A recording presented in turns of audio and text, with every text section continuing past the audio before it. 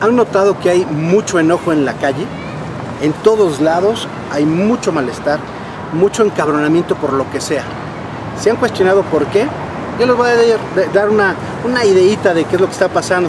Hay mucha frustración en el país, demasiada. La infelicidad está al máximo y la desesperanza también.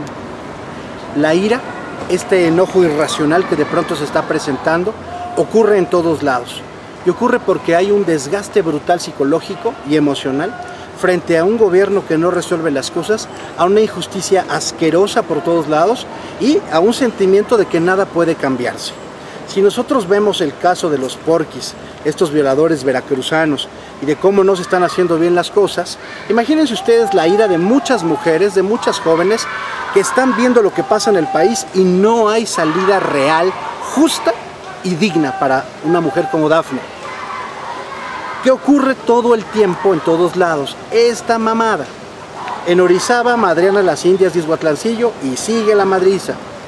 Si nosotros nos vamos a Michoacán, permanecen las desapariciones, los levantados y las matanzas. Y así nos vamos a Guerrero, Nuevo León, todos los estados están de la chingada. Y no hay justicia. Los jueces se venden, eh, las mesas de conciliación se venden, eh, todo está vendido. Puro pinche dinero, dinero, dinero. Y a ver, el mejor postor es el que gana. Uno, el derecho romano llegó a su fin, no funciona más, porque es tanta la corrupción que ya no funciona. Funcionó durante miles de años, ahora se acabó, porque todo se ha convertido en triquiñuela. Después de eso, cuando salimos a la calle, pues vemos que los camiones hacen lo que quieren, las compañías hacen lo que quieren, estamos muy enojados, muy enojados todo el tiempo porque nuestra vida no es una vida feliz no es una vida digna y no es una vida de justicia. Eso es algo que tenemos todo el tiempo dentro y que a la menor, a la menor provocación brota de nosotros este enojo. Y la gente ya se está poniendo al pedo real. La gran ventaja para la Ciudad de México es que es una ciudad desarmada. La mayor parte de la población no tiene armas. Hay otras entidades en donde sí, y cuando empezó a llegar el narco fuerte, pues tú no le podías tocar el claxon a alguien porque ese alguien se podía bajar y plomearte y se acababa el pedo. Eso no lo han tenido en la Ciudad de México, aún puede llegar. Pero esta ira que se está acumulando por todos lados va a reventar.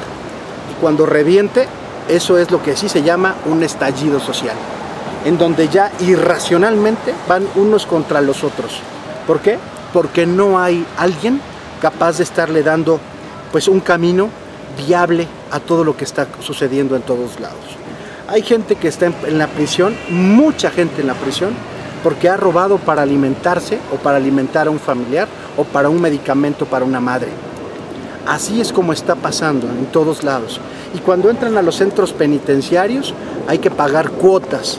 Entonces las familias se dedican a estar dando dinero también para que adentro se pague a alguien que no le pegue a su convicto los penales, los hospitales públicos, el transporte público, la propia calle, llegas a las instituciones, ves a la gente, lo que hemos dicho, pasivo-agresiva, secretarias coleras, ¿no? Que sonríen tragando la pinche torta y le dices, oiga señorita, ponga atención, no, no hay que exaltarnos, te dicen, ¿no? ¿Sabes qué dan ganas? Sí dan ganas de partirle su madre, pero te pido de favor, toma aire neta, güey, de verdad escucha lo que te digo y bájale. Porque el gobierno nos está metiendo en un problema bastante difícil, en donde ellos van a volver a ganar. Los de siempre van a volver a ganar. Y los que siempre pierden van a volver a perder.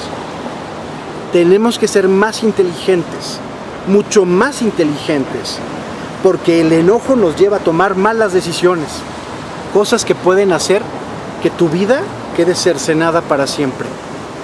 Así que piensa, reflexiona, control, control, de veras, autocontrólate en eso. Trata de bajarle. No nos merecemos lo que estamos viviendo, no nos lo merecemos. Hay demasiada opresión mediática, religiosa, política, social. Están chingue, chingue todos los días. Que no seas tú, que te aguantes, que te calles, que te agaches, que te empines, cabrón. No nos merecemos lo que está pasando sí tenemos esa claridad. El asunto es que no nos conviene en lo absoluto la violencia. No nos conviene. Por favor, te lo encargo. Y no seas malito, no seas malita. Escríbenos al Hijo del Rayo. ¿Qué vamos a hacer para que cuando cambie el gobierno tengamos felicidad?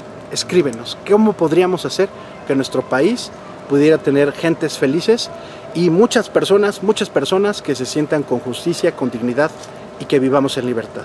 Aporta.